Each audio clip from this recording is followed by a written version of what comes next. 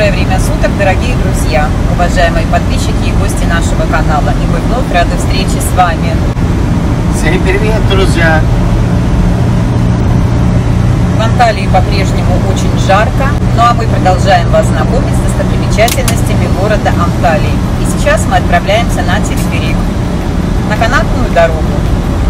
Вас, конечно же, приглашаем вместе с нами. Поехали!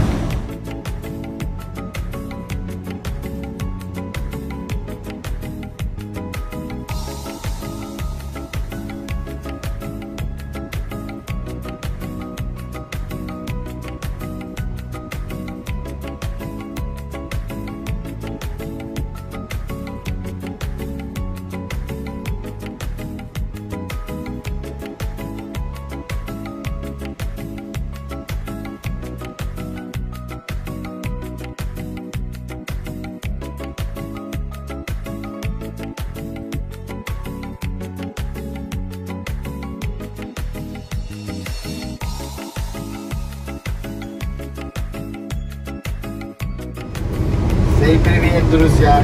Хорошая погода, не жарко. Я думаю, сейчас машина 37, на улице 45. Хороший. Сейчас телефрик, потом аквариум. Сегодня я не работаю, хочу.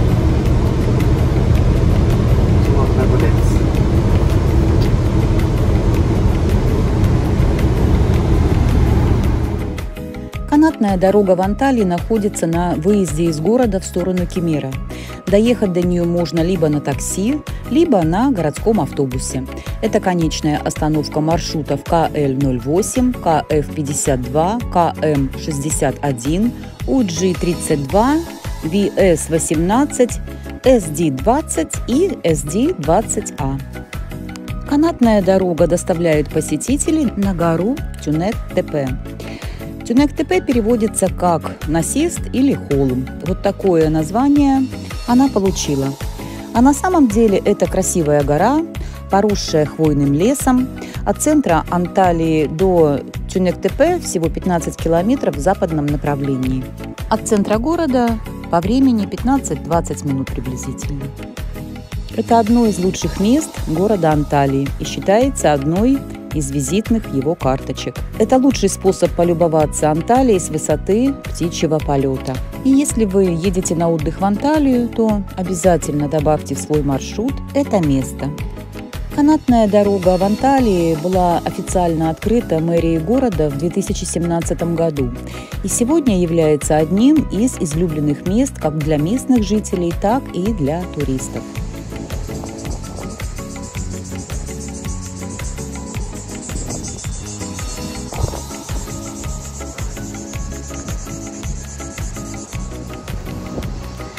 Автобусная остановка.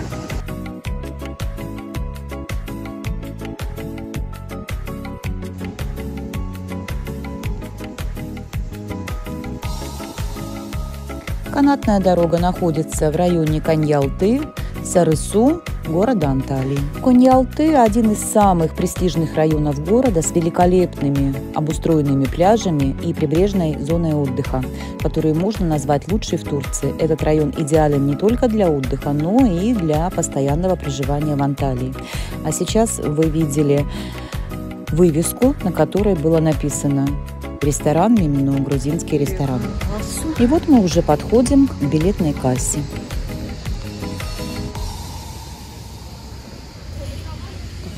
Кафешка. Здесь так, время работы с 10 до 19.00.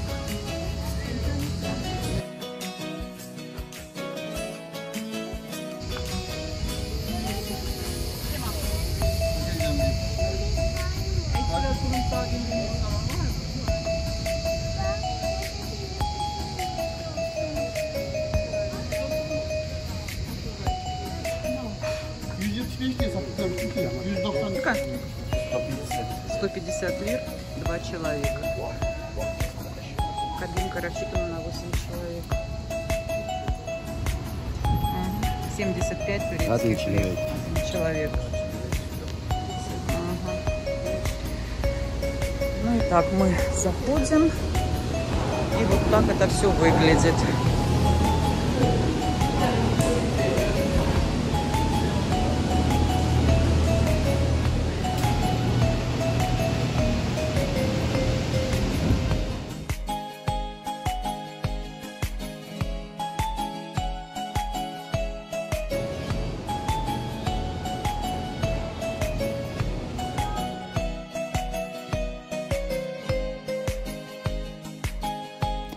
Гора, на которую ведет подъемник, составляет 618 метров над уровнем моря.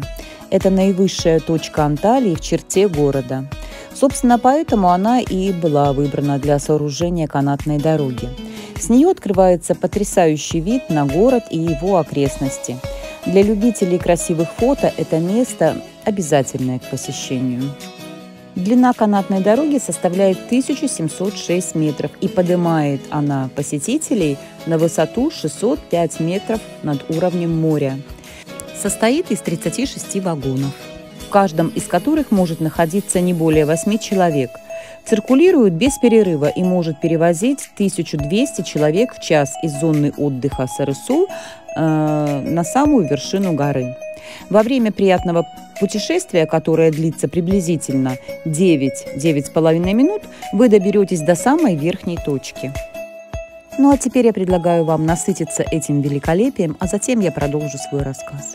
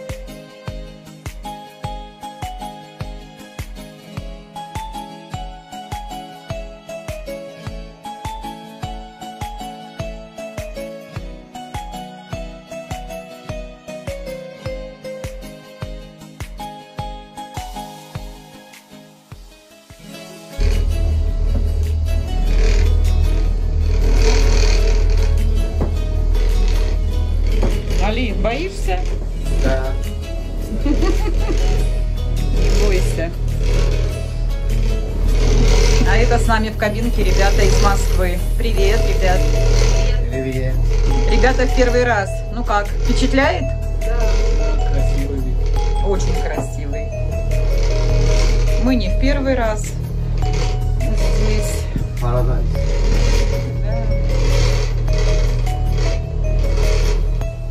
Как впечатление от Анталии? Дороже стало. Дороже стал. Да, что правда, то правда. Для тех, кто отдыхал ранее, э, здесь они, им есть с чем сравнить. Цены действительно в два-три раза поднялись. На все буквально. Ну, а вообще от Анталии как вы? Впечатления какие? Много мест всяких. Олимпус,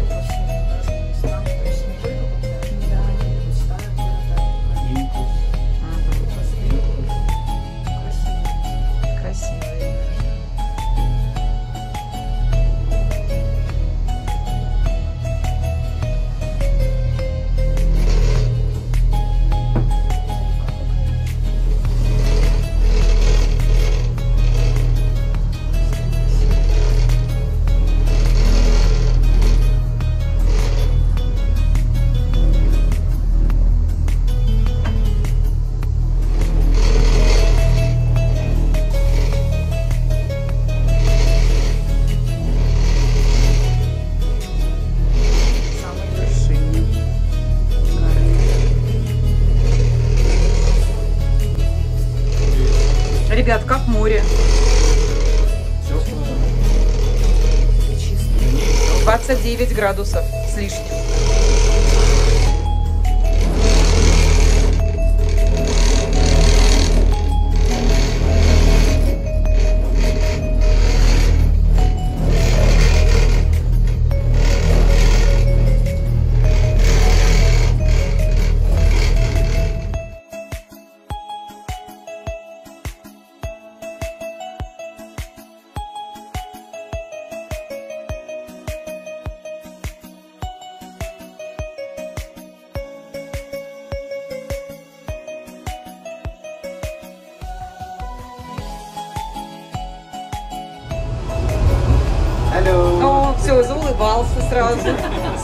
заулыбался. Ре- Ребят, приятно было познакомиться.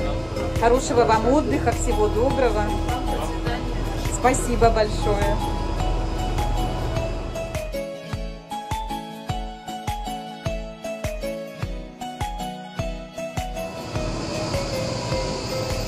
Ребята, такой воздух. Просто что-то невообразимое. Уши, конечно, немножечко подзакладывает, потому что высота.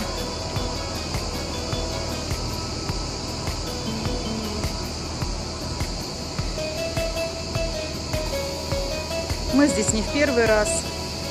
Как я уже говорила, я это место очень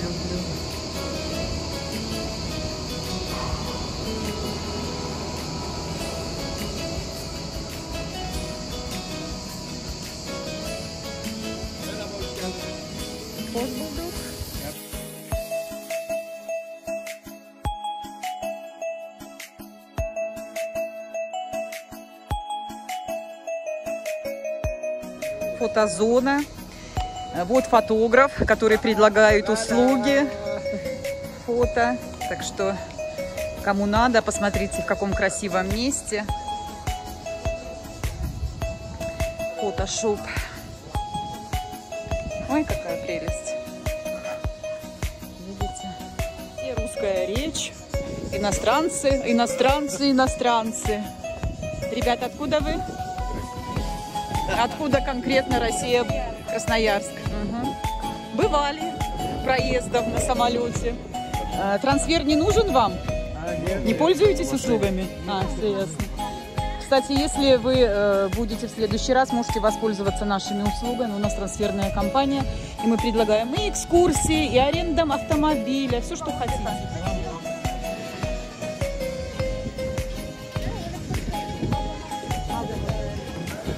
Ты!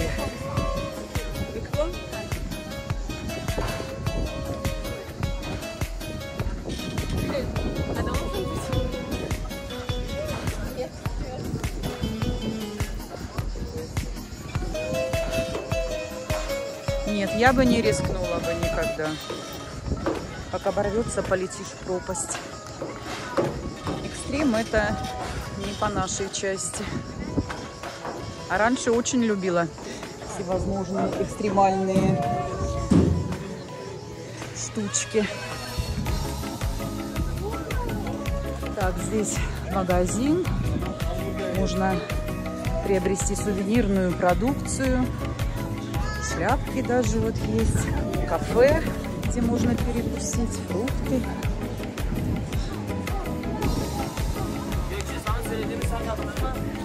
Людей много. Здесь, ну, конечно, воздух здесь великолепный.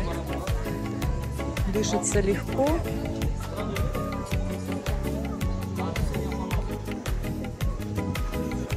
Что? Да, ну, я бы никогда в жизни не полезла туда. Кокосики. Здесь, конечно, изумительные виды. Открывается вид на море. А это место очень популярное. И те, кто направляется на отдых в Кемер и в районы, которые находятся рядом, по дороге следования видели этот остров. Этот остров имеет три неофициальных названия и три очень интересные истории, о которых я вам сейчас расскажу. Первое неофициальное название этого островка – Черепаха. По форме напоминает черепаху, особенно если смотреть с высоты птичьего полета, с борта самолета. При экскурсии на яхте возле острова можно увидеть черепах. Второе название – Мышиный остров. Всем известно, что крысы и мыши первыми бегут с корабля, терпящего бедствия. Предания моряков гласят, что очень часто при крушениях кораблей мыши спасались на этом острове, и что иногда, следуя за грызунами, спасались и люди. И, наконец, третье название – «Остров неверных жен». Рассказывают, что на этот остров обманутые мужья увозили неверных жен, и это было гораздо гуманнее, чем в некоторых исламских странах, где местный закон дозволял предавать виновных в супружеской измене смертной казни через побивание камнями. Если же, бросившись от отчаяния в морскую пучину с берега острова, женщина доплывала до материка, она бывала прощена.